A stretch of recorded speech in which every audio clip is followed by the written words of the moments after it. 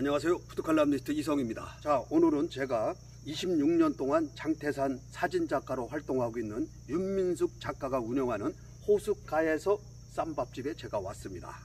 아, 이곳은 대전 근교의 흑성리에서 장태산 휴양림 가는 길목에 있는데요. 여기가 용태울 저수지 바로 앞에 있어서 호숫가야라고 이름을 붙였다고 합니다. 자, 방송에 앞서 아직 구독자가 아니신 분들은 빨간색 구독 버튼 꼭 한번 눌러주시기 바랍니다. 자, 쌈밥집 안으로 들어가 볼게요. 아, 산속 풍경이 나오는데요. 2층 집인데, 자, 주차장도 있고요. 1층 안으로 들어오니까 윤민숙 사진작가의 작품들이 진열이 되어 있고요. 또 아기자기한 소품들도 아주 잘 꾸며져 있습니다. 주방으로 한번 가보겠습니다. 자, 여기는 창업주 윤민숙 작가와 2대를 이은 우리 아드님이 지금 열심히 수업을 받고 있습니다. 수육쌈밥을 주문해 놓고 2층 갤러리로 올라가 봅니다. 원래는 식사를 한 다음에 어, 구경을 해야 되는데 저는 막간을 이용해서 지금 갤러리로 올라와 봤습니다. 자, 여기는 2층에 자리 잡고 있는 윤민숙 사진 작가의 갤러리입니다. 자, 윤민숙 사진 작가의 작품들이 2층 갤러리에 전시가 되어 있습니다. 아, 굉장히 그 장태산의 그 사계, 사계절 모습을 담은 것 같은데요. 어, 굉장히 멋있습니다. 아, 제가 원래 자연을 좋아하고 또 어, 이곳에 와서 살다 보니까 영업도 하게 됐어요. 그런데 어, 지금 계절에 손님들이 오시면 지금 계절만 느끼시잖아요. 그래서 장태산의 사계절을 다 느끼시라고 이렇게 봄, 여름, 가을, 겨울 작품만 이곳에 전시를 해놨습니다. 어, 쌈밥집에 오신 손님들 어, 사진도 볼 수 있게 이곳에 작은 갤러리를 마련한 겁니다. 아, 이 사진은 그 2009년도죠. 2009년 크리스마스 전에 눈이 굉장히 많이 왔어요. 그리고 마침 어떤 학생들 둘이 이곳을 걸어오더라고요. 그리고 여기에 버스 승강장까지 있어서 굉장히 정겨운데 올해 11년 만에 어떤 손님이 와서 여기 주인공이 자기 같다는 거예요. 오. 시어머니랑 와가지고 그래 시어머니가 야 이게 뭐가 너냐 아니다 그러니까 며느리가 젊은 사람답게 요 사진을 찍어서 클로즈업을 해서 보니까 딱 자기인 거예요. 그래서 11년 전에 찍은 사진을 어, 이 사람을 원본을 보내줬습니다. 굉장히 좋아하시더라고요.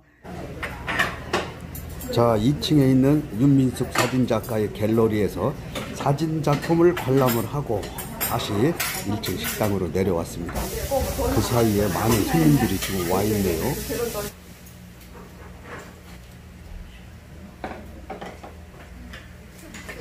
우리는 90% 이상이 여자 손님이라서 어, 삼겹으로 삶지 않고 전지 부분, 살코기가 조금 있는 부분으로 삶습니다.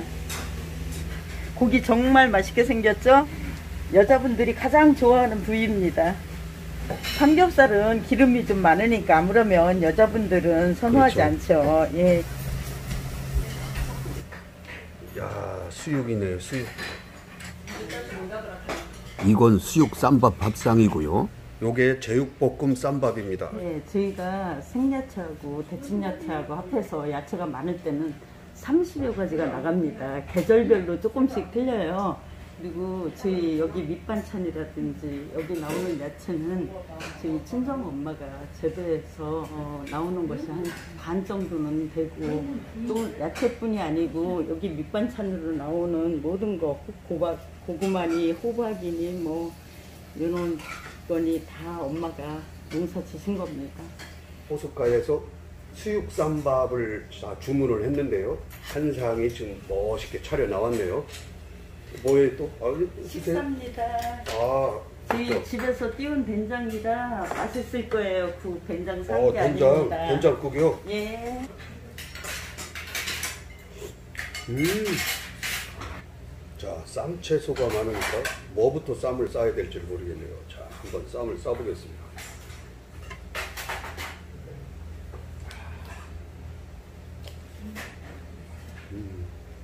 그냥 한번 먹어보겠습니다. 간을 해서. 음. 이 수육은 이 삶는 방식에 따라 맛이 달라지는데요. 재료도 좋아야 되지만은 요 삶는 노하우가 아주 중요합니다.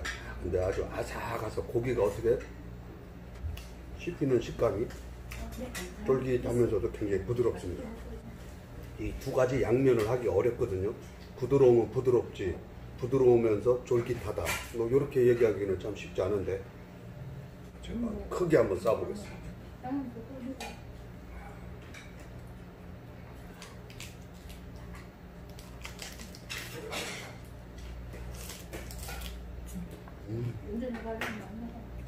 호박잎, 배추잎, 이 양배추, 야, 다이 영양에 참 좋은 것들인데요.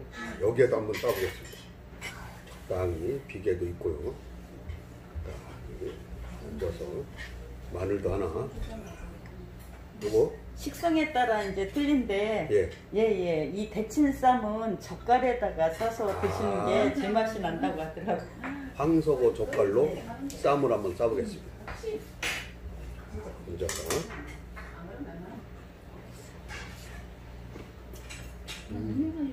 음. 아, 이, 이 된장국이 아주 아, 맛있네요, 정말.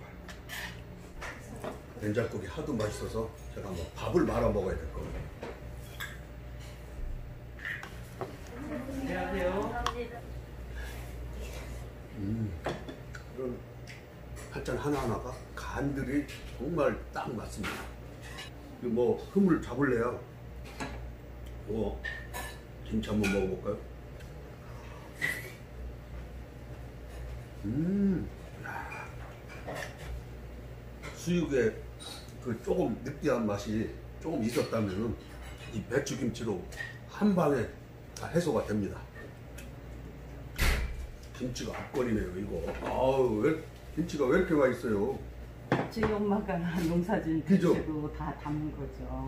저희가 된장을 산 게 아니고 시골에서 담은 된장이라 조금 짭짤해요. 원래 된장 자체가 조금 싱겁죠. 네, 이거보다 이, 예. 이게 나요. 예.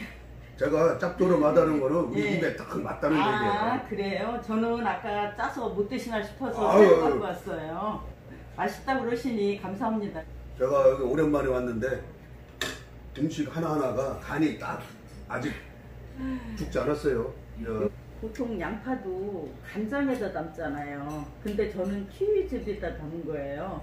그래서 새콤 달콤해가지고 고기를 드실 때 이 양파랑 같이 드시면은 굉장히 상큼해요. 아 그래요? 예, 예. 그러니까 새콤 달콤하게 해가지고 어, 요, 요거 아주 색다른데요? 거기 앉아가지고 말씀드리니까 더 맛있죠? 아유, 훨씬 맛있죠. 우리 또 작가님이 또. 아니 혼자 드시는 것보다 예더 맛있잖아요. 아까 2층에서도 사진 보셨듯이 아래층도 전부 장태산 사진이잖아요. 예 손님들 보시라고 요즘 활동은 어떻게 해요? 그럼? 매주 화요일은 쉽니다 저만 가게는 운영을 하고 저만 쉬고 매주 화요일은 촬영 다닙니다 사진 촬영. 그래 저도 숨통 트이고 스트레스 풀고 살지요.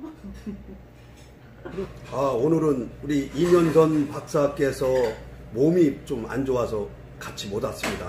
다음에는 우리 이면선 박사가 함께 할 겁니다. 요즘 장태산은 굉장히 풍광이 좋습니다. 이 장태산 가을 풍경을 한번 구경해 보시는 것도 좋을 것 같습니다. 구독과 좋아요 꼭 부탁드리겠습니다.